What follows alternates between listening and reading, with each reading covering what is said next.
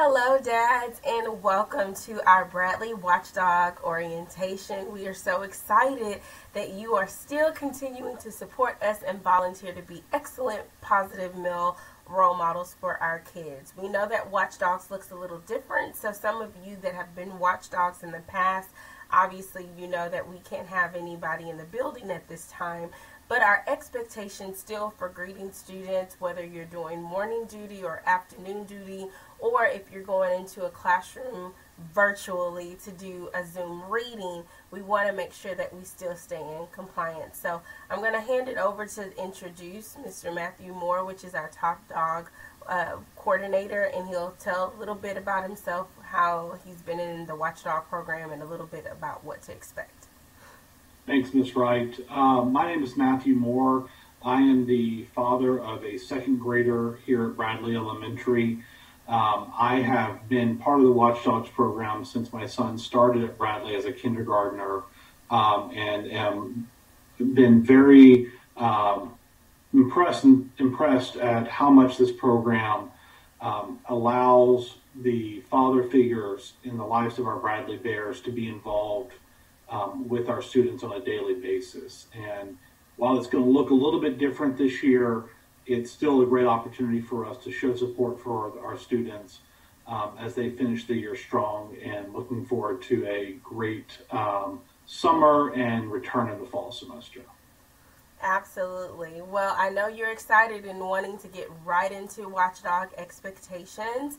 And so, thank you for attending our kickoff. And so, this is something that you'll need to play and review every time just in case something happens. Um, basically you're agreeing to follow all of the Watchdog and Bradley expectations. All right, so number one, watch or attend the Watchdogs webinar orientation. You're already doing that. Score. Very, very important because um, we all get comfortable, but you never know. Things may happen on the Zoom or things may happen in the car ride or um, by the bus area.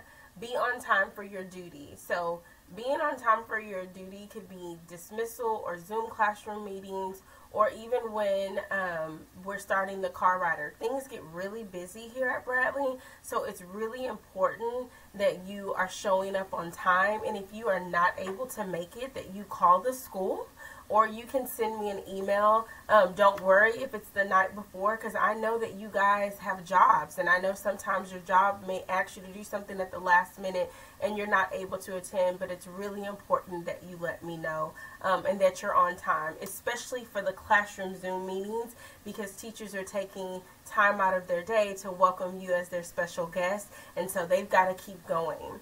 You want to make sure that you follow your personalized daily schedule. So for those that are doing, um, maybe you're doing the classroom Zoom meeting, I will give you a schedule when you are going in and out um, of certain Zooms, or it may be just one Zoom but there's just different classes that are coming.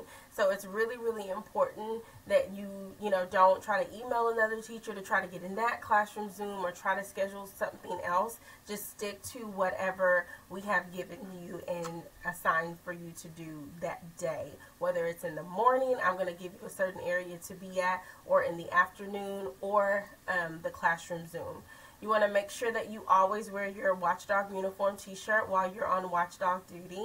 So this is really important. Um, we have a uniform just because we want to make sure that teachers and parents and community members and our district people know who you are as a volunteer. So it's really important that you sign up on the Watchdog web store, buy a t-shirt, um, a lot of dads normally buy the gray or the white ones. They're pretty cheap, like $9 or whatever they are. Um, and make sure that you have that on when you're on duty. The same thing with Zoom. So some of you may be, you know, joining a classroom during your lunch break. Um, if you, if at all possible, just during your lunch break when you're in your office, if you got your business suit on, you know, throw that shirt over. Um, your business attire or you know some of y'all like Mr. Moore may have your cap on it's just really really important that you have some type of identification that shows that you are with our watchdog program Um, stop by the office if you have any questions during arrival or dismissal. So if you get confused, don't know where to go, or if you need to leave, or you need to step out, just always your front office is your go-to. Ms. Reardon, myself, Dr. Butler, we're always available. So if something happens, because you never know, things happen all the time, um, you can go to the front office. Um, and I will take it over to Mr. Moore.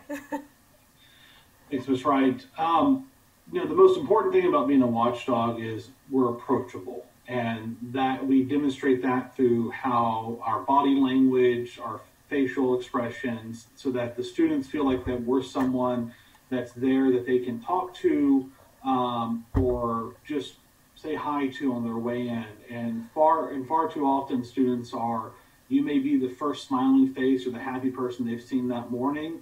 So getting them that positive mindset and attitude to start the day or they've had a really rough day and they're leaving the school, you know, having that positive positive affirmation that things are going to be all right um, as they head out for the day is really important and really uh, a big part of us of the program we have.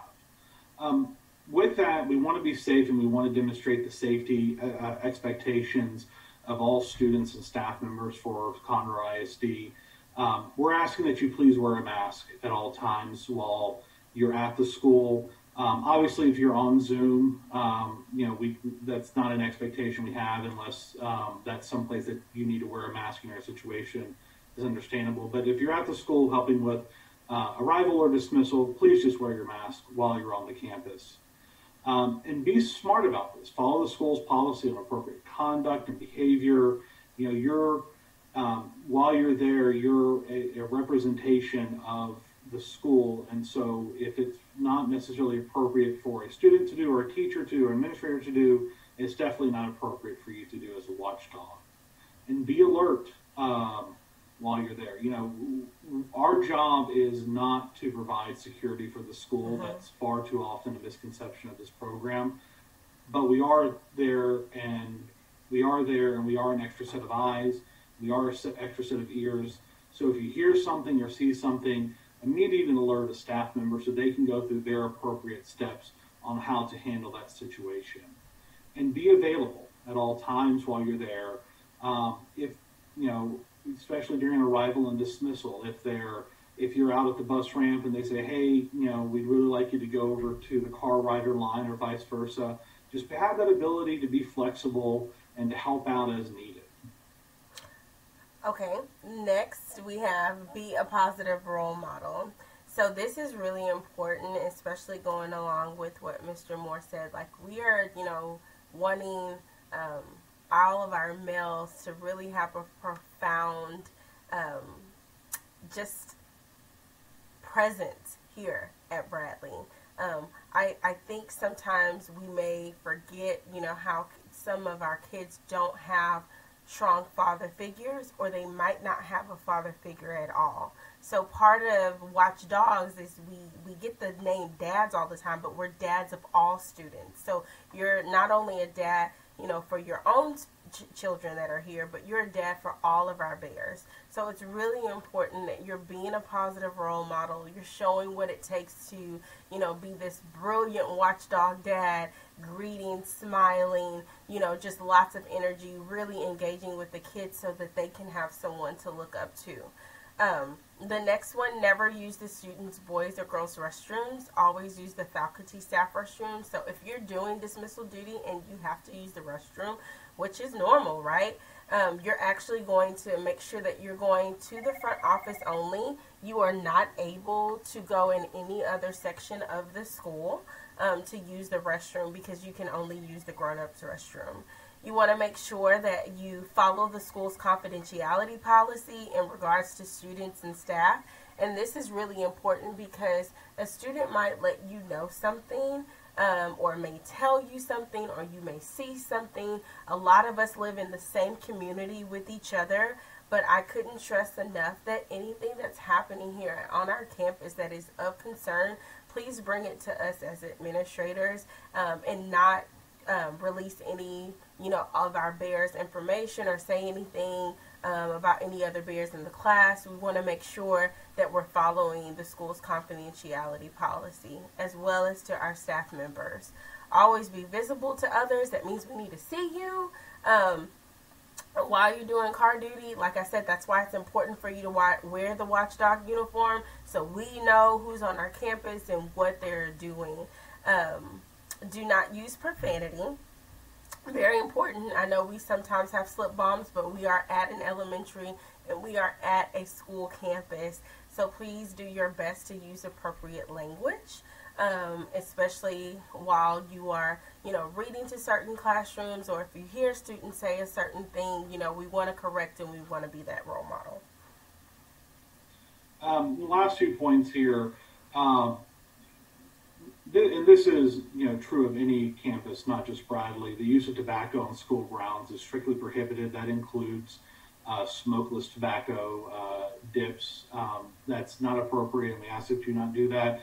And if you're on a Zoom, we ask that while you're not on school grounds, that you limit, that you don't do that either, that you use that time to focus. And if that's something uh, that you do partake in, that you do it after the Zoom, uh, your Zoom uh, time is done. Um, you know, don't share while we all have religious or political views that we hold uh, true and dear to our hearts. This isn't the time or the place um, while you're a watchdog to express those.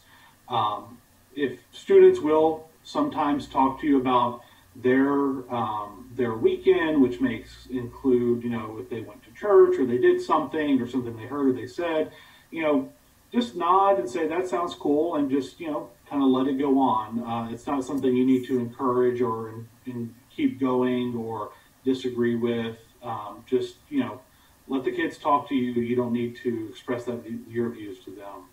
Um, as Miss Wright said, um, you know, we understand all of us are busy. All of us have something going on. If you need to take a cell phone, if you need to take a, phone call on your cell or answer an email, um, you know, that's absolutely okay. We just ask that if you can to try to limit it. And if, if you do need to, that you step away um, kind of from the main kind of area so that you're not on your cell phone in the middle of a huddle of kids, but you're, you know, as Ms. Wright said, you're still visible to everyone.